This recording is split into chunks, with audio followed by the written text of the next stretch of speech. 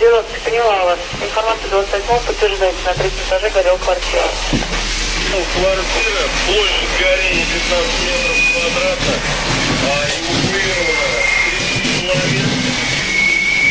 Деятельность детей выявлена при помощи спасустройства. На месте вызова работают две